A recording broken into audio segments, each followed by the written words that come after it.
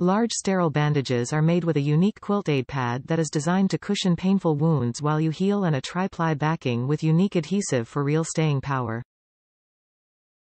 Featuring a four-sided seal that protects against dirt germs and a sheer adhesive that offers lightweight and breathable protection and is flexible enough to move with you.